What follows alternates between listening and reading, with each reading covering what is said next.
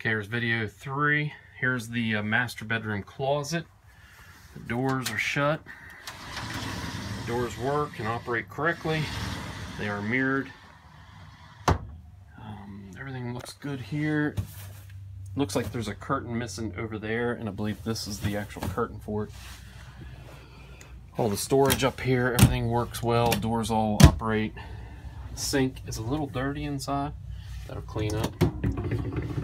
Everything here. There's the controls. There is a master shower. Very cool.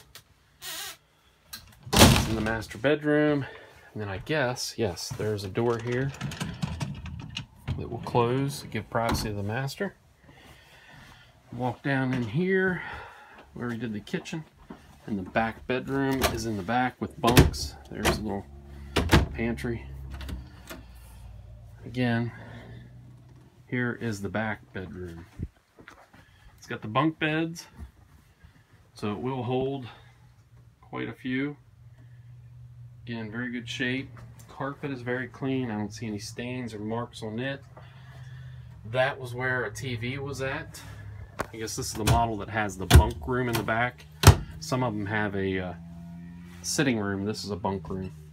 The only things I could point out that I saw is right here on the corner where the uh, the sliders go in and out on the master bedroom as well as this bedroom. Just the corner of the carpet needs reattached. Um, these doors all open to the back bedroom. Ouch. Here, not a whole lot of storage, but probably enough for a camper. Again, there's the ceilings. I'll show you those. I'm trying to just show you anywhere where I think might be an issue, but I, I don't see any issues on any of the ceilings either.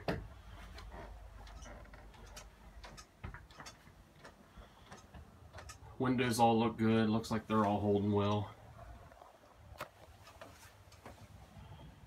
trying to point out anything or think of anything else. But if you have any questions, you can give me a call. I forgot to show you this bathroom and the master bath. There's the toilet in the master bedroom. And I guess I forgot to open up this door here. Maybe that's the only bathroom. Yeah, it's the only bathroom.